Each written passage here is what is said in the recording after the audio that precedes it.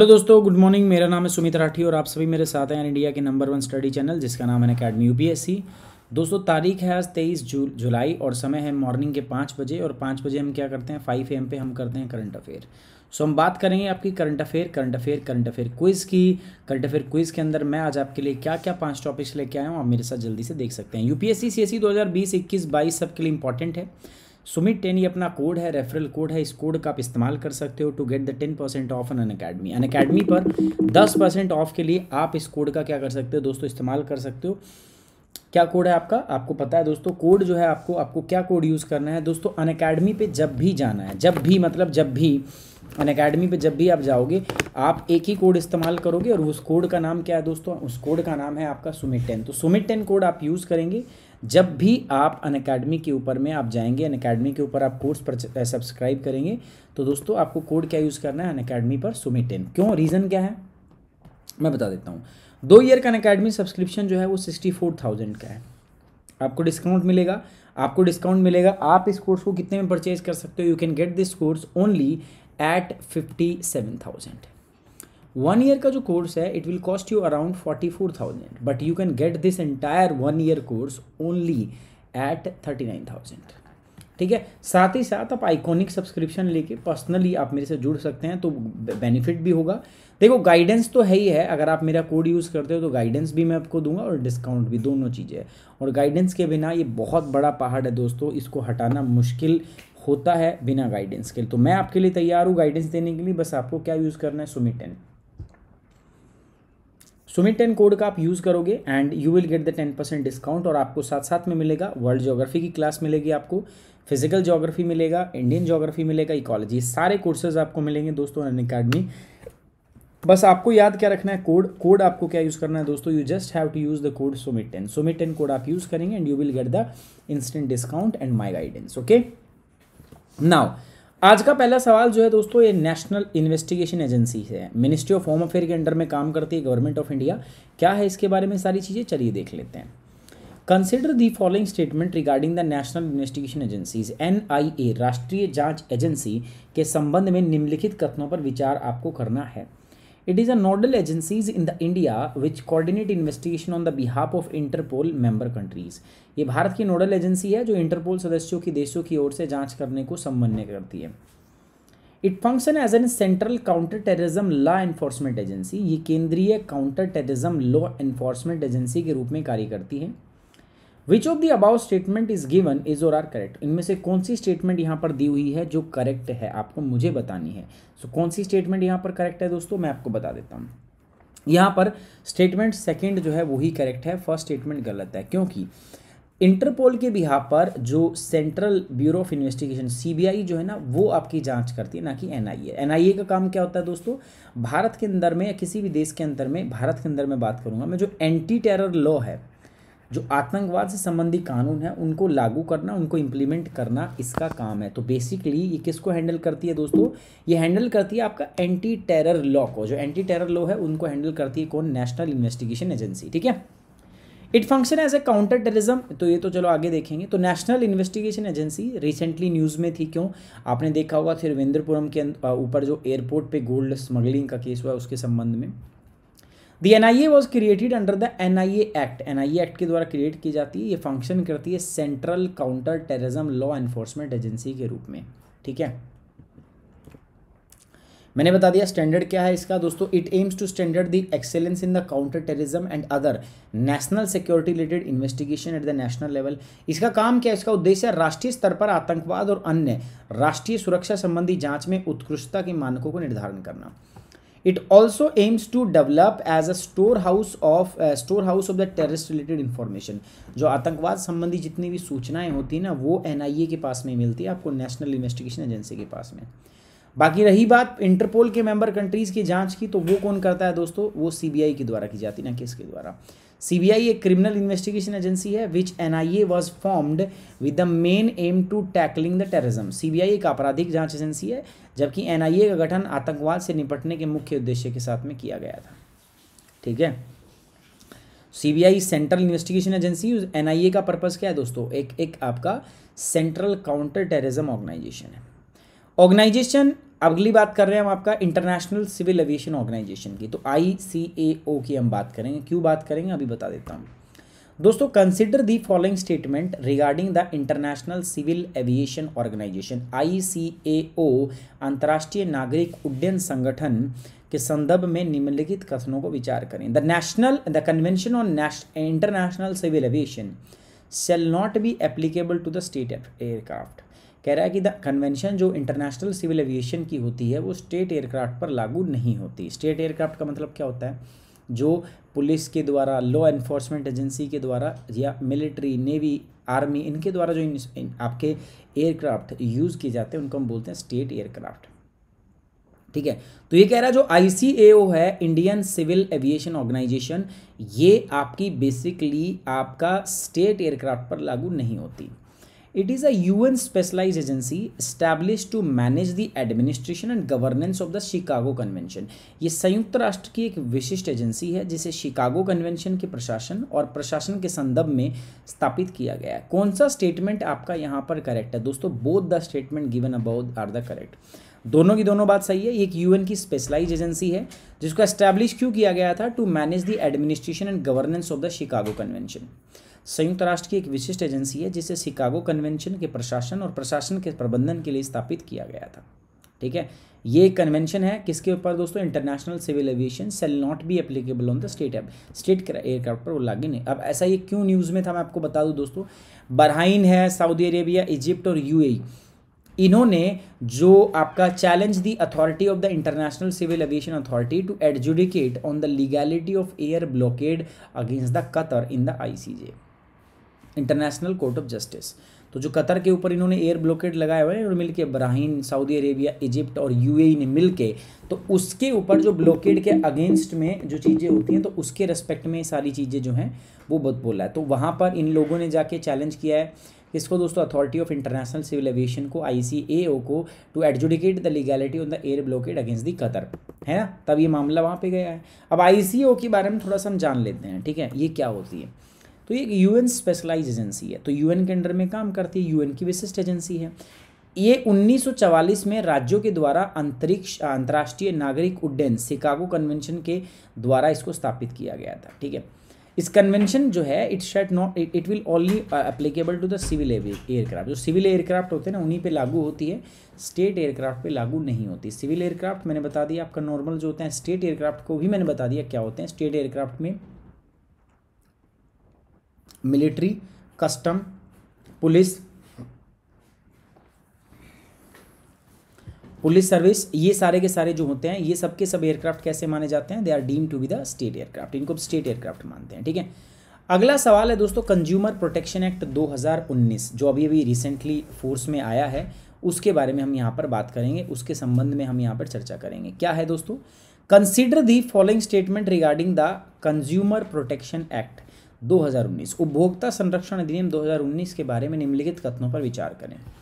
The consumer protection e commerce rule 2020 are advisory nature भाई उपभोक्ता संरक्षण नियम 2020 प्रकृति के सला, आपके सलाहकार प्रकृति हैं। दे आर जस्ट एडवाइजरी तो आपको क्या लगता है एडवाइजरी है? इतनी बड़ी लंबी जोड़ी लिस्ट मैंने आ, कल कल आपको मॉर्निंग करंट अफेयर में पढ़ाया तो आपको क्या लगता है एडवाइजरी है नहीं है? हम्म?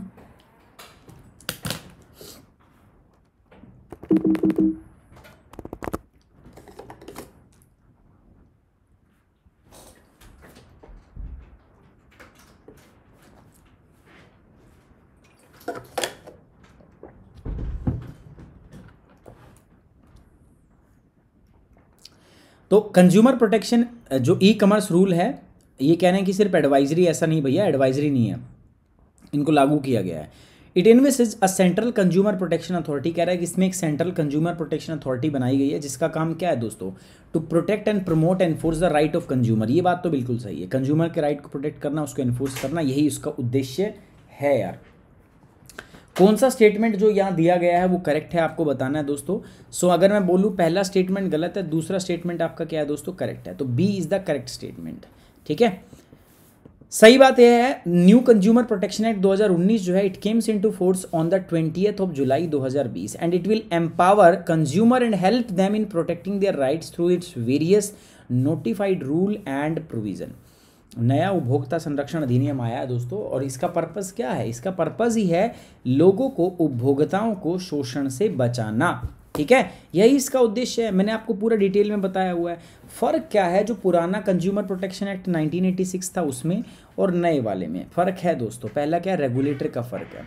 पहले कोई अलग से रेगुलेटर नहीं था, लेकिन अब हमने सेंट्रल कंज्यूमर प्रोटेक्शन अथॉरिटी एक अलग से रेगुलेटर बनाया है।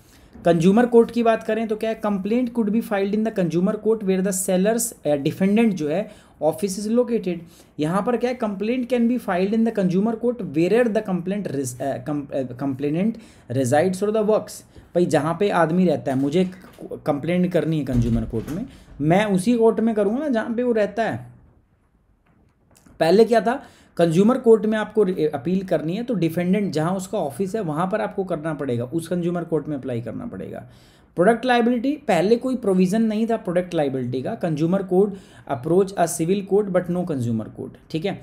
यहाँ पर customer can seek the compensation for the harm cause by the product of the services तो प्रोडक्ट की लाइबिलिटी अगर मैं प्रोडक्ट इस्तेमाल करता हूँ, मुझे उससे कोई नुकसान होता है तो मुझे जो लाइबिलिटी है, वो प्रोडक्ट प्रोड्यूसर की रहेगी, ठीक है? पिकोस आपका जुरिस्डिक्शन क्या है? डिस्ट्रिक्ट लेवल तक अब तो up to Rs one crore तक रहेगा। स्टेट में एक से दस करोड़ का और नेशनल में दस करोड़ से ज़्यादा का। पहले ऐसा नहीं था। ई कॉमर्स का प्रोविज़न नहीं था, लेकिन अब जो है, सारे जो ई कॉमर्स के रूल इसमें आ गए हैं दोस्तों आपका। नो लीगल प्रोविज़न यहाँ पर and the court can court can refer settlement through the mediation ठीक है? यहाँ पर है। The new act will shift the less time consuming compared to the older Consumer Protection Act 1986, in which single point access to the justice was making it the time consuming exercise. यार जो नया act है ना वो time कम लेता है ठीक है टाइम इतना टाइम का टाइम कंज्यूमिंग नहीं है as compare to the previous one The consumer protection act 2019 establish the central consumer protection authority CCPA बनाता है, एक रेगुलेटरी बॉडी बनाता है, जो रेगुलेट करेगा, उसको पहले ऐसा नहीं था। इसको क्या क्या पावर है? इसको पावर है complain conduct investigation into the violation of consumer rights and institute complaints prosecution उपभोक्ता अधिकारों और संस्था की शिकायतें, अभियोजन के उल्लंघन की जाँच करना इसका काम है। Order discontinue discontinuance of unfair trade practice and misleading advertisement अगर आपने कोई गलत प्रकार का एडवर्टाइजमेंट किया, झूठा तो ये गड़बड़ हो सकती है, आपके खिलाफ एक्शन लिया जा सकता है। नाउ द कंज्यूमर प्रोटेक्शन और जो ई कॉमर्स रूल है 2020 are mandatory not as advisory अब जो ई कॉमर्स रूल है ना इलेक्ट्रॉनिक कॉमर्स के यार, वो मैंडेटरी हैं, वो एडवाइजरी नहीं, अब मैंडेटरी हैं। The rule also prohibit the e commerce company from manipulating the price of the goods और the services to gain the unreasonable profit through the unjustified prices कई बार क्या होता था? पहले टाइम पर आप देखते थे जो आपकी ये ई कमर्स जो आपकी कंपनी होती थी, ये क्या करती थी? आप बहुत सारे तरीकों का इस्तेमाल करती थी और इन इनको बहुत बहुत हाई प्रॉफिट होता था। प्राइस को मैनिपुलेट करती थी। वो अब पॉसिबल नहीं है है ना? आगे बात दो करते हैं दोस्तों मेमोरी टी सेल की। यार साइंटिस्ट ने अभी मेमोरी टी सेल्स डिस्कवर करने की बात की है। इन्होंने बोला कि इन्होंने पता नहीं कहाँ से मेमोरी टी सेल जो है वो खोज लिए हैं specific to the corona virus ये मेमोरी क्या होती है? मेमोरी कार्ड होता है ना? मेमोरी कार्ड ऐसा कार्ड होता है कि भैया, इसमें जो भी डाल दोगी, तुम स्टोर रहेगा सेव रहेगा। अभी कह रहा है जो हमारे सेल होते हैं ना, जो हमारा इम्यून सिस्टम होता है, जो हमारी ब्लड सेल्स होती हैं, उनके अंदर में मेमोरी टी सेल्स होती हैं। मेमोरी का मतलब क्या है? मेमोरी का मतलब ये कि अगर आपको एक बार कोई बीमारी हुई है और अगर उससे आप रिकवर कर गए तो उस बीमारी के लिए जो ठीक होने के लिए जो आपको एंटीबॉडीज़ लगी हैं, जो एंटीबॉडीज़ आपको चाहिए, वो एंटीबॉडीज़ इसकी मेमोरी में सेट हो जाती है, ठीक है? और आप कभी भी वो बीमारी अगर आपको दोबारा होगी तो आप उस बीमारी से ग्रसित नहीं होगे, वो बीमारी आपको नहीं होगी, क्योंकि आपके शरीर में, आपके में ऑलरेडी मेमोरी डी सेल हैं। ठीक है? तो ये, अब इसी चीज़ का हम इस्तेमाल करने की बात कर रहे हैं साइंटिस्ट किसमें? आपका दोस्तों, कोविड नाइन्टीन के केस में ठीक है? क्या है मुद्दा?